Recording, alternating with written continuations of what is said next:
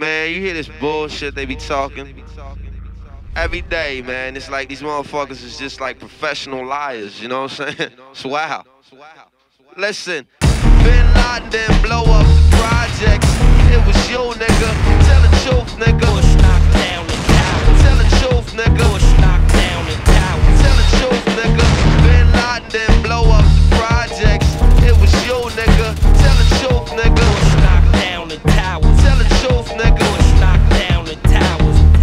Pledge no allegiance, nigga. Fuck the president's speeches. I'm baptized by America and covered in legions.